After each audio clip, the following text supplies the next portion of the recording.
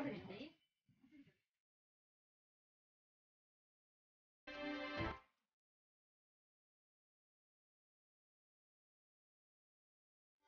आप देख रहे हैं हिंदुस्तानी मीडिया। आइए आज हमारे सामने अलीगढ़ मुस्लिम यूनिवर्सिटी के ex student president doctor Masqoor Ahmad Usmani साहब हैं। उस्मानी साहब, आपका हिंदुस्तानी मीडिया में बहुत बहुत स्वागत। उस्मानी साहब आज आप मकसूदा, मधुबनी जिला के मकसूदा पंचायत में आप हैं। आपके मकसूदा पंचायत में आने का मकसद क्या है? और, जैसा कि मुझे मालूम है कि अब आप बेदारी मुहिम चला रहे हैं, लोगों में जागरूकता फैला रहे हैं। जागरूकता किस तरह की जागरूकता आप फैला रहे हैं, इसके बारे में आप जानकारी देखिए, अभी मकसूदा में आना हुआ हमारा और यहाँ पर हम लोग इलाके इलाके जा रहे हैं अलग अलग जगह अलग अलग गाँव अलग अलग पंचायत, और वहाँ पर किस तरह से तालीम को लेकर लोगों के बीच में एक बेदारी आए, एक सीरियसनेस आए, और तालीम के इम्पोर्टेंस को वो समझ पाए, उस पर हम लोग काम कर रहे हैं। कई इलाके में मेरा जाना हुआ छतपन जाना हुआ लवाम जाना हुआ जाले की तरफ़ जाना हुआ, मिर्ज़ापुर जाना हुआ, कई इलाकों में जाना हुआ, और वहाँ पे हर जगह हम लोग एक ही बात कर रहे हैं कि हमारे कम्युनिटी का, हमारे सोसाइटी की जो तकदीर है वो तालीम से बदलेगी। जब हम अ, अ, अच्छी तालीम लेंगे और अच्छी तालीम की तरफ़ बढ़ेंगे तो हमारे बाकी जो मसाइल हैं चाहे वो सियासी मसाइल हों चाहे वो माशी मसाइल हों वो तमाम मसाइल जो है तालीमी मसाइल के अंडर आते हैं। अगर तालीम अगर हम हासिल करते हैं और हमारा जो नौजवान तबका है जो हमारे बच्चे हैं अगर उनको अच्छा अच्छी शिक्षा मिलती है अच्छा एजुकेशन मिलता है तो हमारा ये मानना है कि कहीं ना कहीं वो कामयाबी की तरफ़ बढ़ेंगे और जो लोग भी इस इस दुनिया के अंदर या इस मुल्क के अंदर कामयाब लोगों में गिने जाते हैं उन तमाम लोगों ने अच्छी एजुकेशन को हासिल किया अच्छी तालीम को हासिल किया। चाहे वो महात्मा गांधी हो चाहे वो जवाहरलाल नेहरू हो चाहे वो मौलाना अबुल कलाम आज़ाद हो चाहे वो खान अब्दुल गफ्फार खान हो तमाम लोग जो है वो पढ़े लिखे लोग थे डॉक्टर अच्छी मैं रोकना चाहूँगा आपको कि आप ही मुझे बताएँ कि आप अलीगढ़ मुस्लिम यूनिवर्सिटी में अध्यक्ष रहे हैं और ये मिथिलांचल के लिए शान की बात रही। हमारे लिए भी शान की बात है।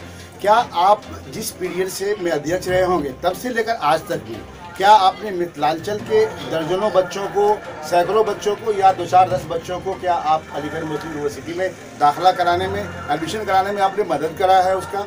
या आपके पास कोई ऐसा ऐसा रिकॉर्ड है कि जो आपके कहने पर इन्फ्लुएंस इन्फ्लुएंस होकर आपकी बातों में आकर वो बच्चा तैयारी करके वहाँ तक पहुँचा है? ऐसी कुछ मिसालें आप दे सकते हैं? जी बिल्कुल। मैं आपको बताना चाहूँगा कि यूनाइट फॉर चेंज करके एक हमारा जो है अ, एक टीम ऑफ़ वॉलेंटियर्स है एक छोटी सी संस्था भी है जिससे कई स्टेट में कई सिटीज़ में लोग जुड़े हुए हैं। और उसके ज़रिए हम लोगों ने जो है बेदारी की मुहिम अलग अलग इलाकों में चलाई है मिथिलांचल में भी चलाई है। और मिथिलांचल के अलहमदिल्ला अपने दरभंगा मधुबनी झंझारपुर के गाँव के इला, इलाके के लोग जो लोग आ, मतलब अलीगढ़ मुस्लिम यूनिवर्सिटी का बस नाम सुने थे कभी उनके घर से कोई अलीगढ़ आया नहीं था तो जो बच्चे भी जिस गाँव के थे, हम लोगों ने टीम अप करके उस गाँव में छोटे छोटे प्रोग्राम्स किए करियर गाइडेंस के करियर कोचिंग गाइडेंस के, कि आप लोग गाँव से निकल कर शहरों की तरफ़ आएँ और वहाँ पर तैयारी करें। देखो, चूँकि कंपटीशन का दौर है। अलीगढ़ मुस्लिम यूनिवर्सिटी या जामिया मिलिया इस्लामिया में दाखिला करने के लिए आपको एग्ज़ाम देना पड़ता है कंपटीशन पास करना पड़ता है। तो उन कंपटीशन की तैयारी करवाना, जो बच्चा आए, उसके रहने सहने का इंतज़ाम करना इंट्रेंस दे आ रहा है तो उसके फ्री में रहने का इंतज़ाम करना उसके फ्री में खाने का इंतज़ाम करना। ये लोग हम लोग अपने बिहार मिथिलांचल के लोग आपस में कंट्रीब्यूट करके जो लोग भी आते थे उनको ठहराने का इंतज़ाम उनकी कोचिंग में मैक्सिमम डिस्काउंट कर चूँकि मैं वहाँ पे प्रेसिडेंट रहा तो यूनिवर्सिटी के अहाते में जो कोचिंग्स वगैरह होती हैं उन कोचिंग्स में मैक्सिमम डिस्काउंट अगर आ, कोई बिल्कुल माशी तौर पर बिल्कुल गरीब है तो उसको हम लोग अपने पास से पैसे दे के रिक्वेस्ट करके फ्री करके उनकी कोचिंग के इंतज़ाम ये सब लगातार हम लोग करते रहे हैं। क्योंकि मालूम है कि हम लोग पिछड़े इलाके से आते हैं ऐसे इलाके से आते हैं जहाँ पर तालीमी बेदारी उस उस हद तक नहीं है या जहाँ के लोग उस हद तक नहीं पहुँच पाए हैं एजुकेशन के मैदान में अगर मैं पहुँचा हूँ तो ये मेरी जिम्मे- सामाजिक ज़िम्मेदारी है। ये मेरी मोरल रिस्पॉन्सिबिलिटी है कि हम अपने समाज के जो दबे पिछड़े तबके हैं जो तबका अब तक तालीम से से रूबरू नहीं हो पाया उसको हम जो है खींच के लाएँ और तालीम से रूबरू कराएँ मेरा एक आखिरी सवाल आपसे है कि आपको हमने जितने दिनों से मैं जानता हूँ मैंने आपको एनआरसी में भी देखा है। आप एनआरसी में हर जगह घूम करके लोगों को आपने बेदार किया है लोगों को जागरूक पैदा लोगों में जागरूकता लाने का काम किया है। तो एनआरसी में भी मैंने देखा है आपको आपको मैंने इलेक्शन के मौके पर भी देखा है कि आप गाँव गाँव जाकर लोगों को बेदार किया है लोगों को जागरूक किया है। क्या मैं ये मानूं कि डॉक्टर मशकूर उस्मानी आने वाले वक्त का हमारा लीडर होगा? देखिए आप मैं आपको बताऊँ कि अलीगढ़ मुस्लिम यूनिवर्सिटी तलबा यूनियन के जो लोग भी सदर रहे हैं वो सियासी मैदान में उन्होंने अपने हाथ आजमाए हैं।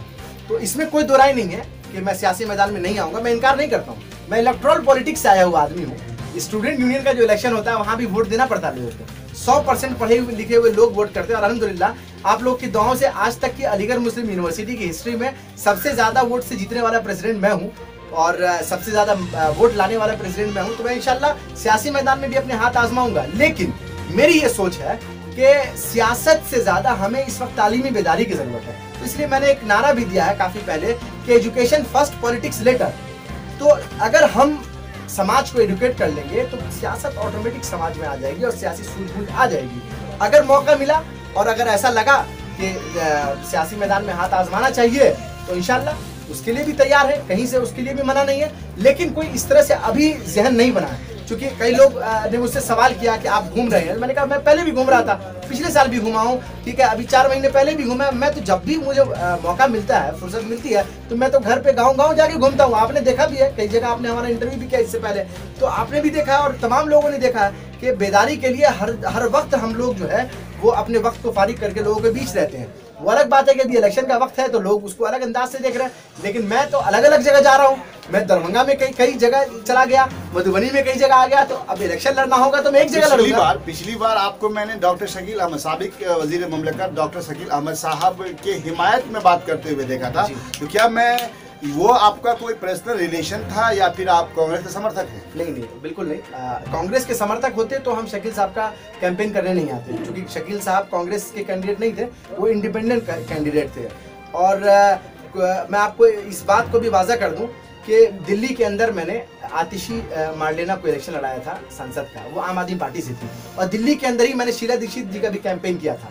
तो मैं किसी पॉलिटिकल पार्टी से नहीं बिल्कुल मैं आपको इस बात को वाजे कर दूँ क्लियर कर दूँ खुलासा कर दूँ किसी पॉलिटिकल पार्टी से नहीं हूँ। जो लोग भी अच्छे लोग हैं ठीक है जिनको सियासी मैदान में आन, आना चाहिए जिनको बने रहना चाहिए जो कौम के लिए कुछ करना चाहते हैं जो सोसाइटी के लिए कुछ करना चाहते हैं उनके साथ हमारा खुला समर्थन है। शकील साहब के साथ हिमायत हमारी इसीलिए थी अ, कोई पर्सनल रिलेशन नहीं था। हिमायत इसीलिए थी कि उस वक्त जो सियासी बेदारी की ज़रूरत थी वो उनको सपोर्ट करके सियासी बेदार किया जा सकता था समाज को और हम हमने उसी का काम किया।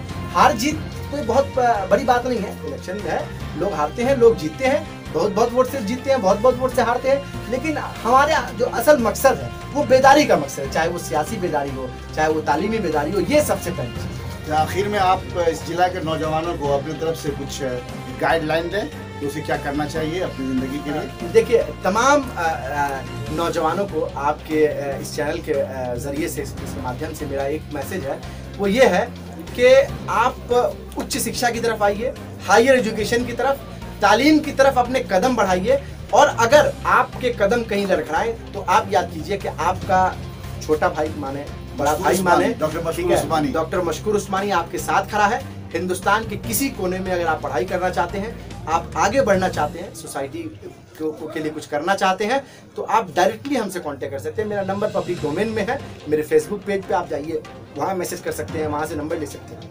डायरेक्टली आप मुझसे कांटेक्ट कीजिए जहाँ जो भी ज़रूरत होगी जिस तरह से भी होगी उसको मदद की जाएगी। मेरे पास बहुत ज़्यादा पैसा नहीं है बिल्कुल है ही नहीं मेरे पास तो। लेकिन एक चीज़ है कि अलीगढ़ ने एक चीज़ हम लोगों को सिखाया है कि किस तरह से एक दूसरे से कांटेक्ट बना के आप चीज़ों को आसान कर सकते हैं। तो हम यही कर सकते हैं कि आपको बेहतरीन तरह से हम लाइन अप कर सकते हैं। जो हमारे तरफ़ से मदद होगी वो मदद आपको मिलेगी। लेकिन कुछ भी कीजिए एजुकेशन को मत छोड़िए तालीम को मत छोड़िए। Education first and politics later साहब बहुत बहुत शुक्रिया आपका। बहुत बहुत शुक्रिया। सर्च करें हिंदुस्तानी मीडिया। हमारे चैनल में आपका स्वागत है। हमारे चैनल को सब्सक्राइब कीजिए और लेटेस्ट वीडियो के लिए बेल बजाना ना भूलें।